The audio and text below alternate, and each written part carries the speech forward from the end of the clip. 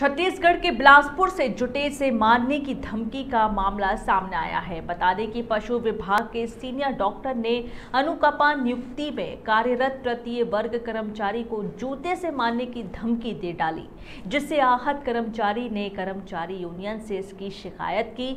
वहीं सहायक शुल्क चिकित्सा अधिकारी डॉक्टर राजकुमार कुर्रे को हटाने की मांग की। वहीं मामले को लेकर डॉक्टर कुछ भी कहने से मना कर रहे हैं। वहीं दोबारा सवाल करने पर कहा कि गलती से जूता मारने की बात निकल गई। मैंने माफ़ी भी मांग ली है। पिछले हफ़्ते, शुक्रवार को उन्होंने मुझे एक फ़ाइल बनाने बोली थी और मुझे बोला था कि व्हाट्सअप कर दीजिएगा। तो मैं उसे व्हाट्सअप नहीं करवाया था क्योंकि मेरा फ़ोन उस टाइम खराब था। तो अब आज मैंने उस फ़ाइल को कंप्लीट करके मैं रखने की अलमारी में, तब सर आए हुए थे। तब सर आए तो मैंने सर को दिखाया तो सर मुझे बोलते कि तुम व्हाट्सअप क्यों नहीं किए मुझे? तो मैं बोला, सर, मेरा फ़ोन ख़राब था। तो मुझे बोलते हैं कि, तुम किसी और से फ़ोन लेके क्यों नहीं कर सकते? तो बोला, सर, मेरी गलती है वहाँ पे। तो फिर मुझे बोलते हैं कि, मैं तुमको दो तीन बार पहले भी समझा चुका हूँ और इसके बाद अगर कुछ होगा, अगर तीसरी बार समझा रहा हो, चौथी बार अगर कुछ होगा तो मैं कुछ नहीं करूँगा, जूता उतार के तुमको मारूँगा और तुमको जो करते मन तय कर लो, जहाँ कंप्लेन करना कर लो, मैं किसी से नहीं डरता।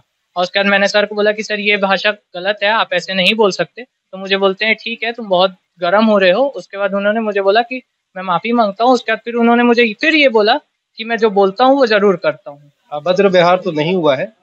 काम के सिलसिले में बातचीत चल रही थी, जिसमें उसको डाटा गया है। पिछले कुछ दिनों से काम नहीं कर पा रहा है।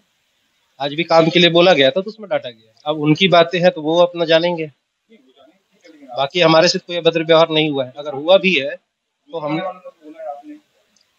हमने ऐसा कोई शब्द इस्तेमाल नहीं किया है। और किया भी है तो हमने मेरे ख्याल से हमने माफ़ी भी मांग लिया था तत्काल ही ठीक है ना? बिल्कुल हमने शायद धोखे से निकल गया था, डांट के दरमियान ही। और उसके तत्काल हमने माफ़ी भी मांग लिया था कि यार सॉरी हमसे गलत निकल गया। जो अभी परिस्थितियाँ पता चली, आज सात जून का जो है, और कुर्रे जी सहायक शल्य चिकित्सक हैं, और वरिष्ठ हैं। और ऐसे मामलों में जब वरिष्ठता और जो नीचे अभी जूनियर, जिनको सात आठ महीने भी नहीं हुए हैं, अनुकंपा नियुक्ति में ये नौकरी पे आए हैं, इनको सीखने के लिए भी शासन का भी प्रिस्क्राइब्ड रूल है कि कम से कम पाँच साल से ऊपर होने पर कोई कर्मचारी किसी काम पे सिद्धस्त होता है और अभी इनको साल भर भी पूरे नहीं हुए। और ऐसे समय में उनसे समझा कर उनको पूरी जानकारी होगी। अभी उनको पूरा तरीके से एक प्रशिक्षण की भी बात होती है। जब पूरा प्रशिक्षण ले चुके होंगे, तब वो सिद्धस्त होंगे। तो ऐसे में सीनियर कर्मचारी के द्वारा जूनियरों को प्रताड़ित करना और जूते से मारने की बात करना निश्चित मानिए सिविल सेवा आचरण नियम उन्नीस सौ पैंसठ का खुला खुला उल्लंघन है।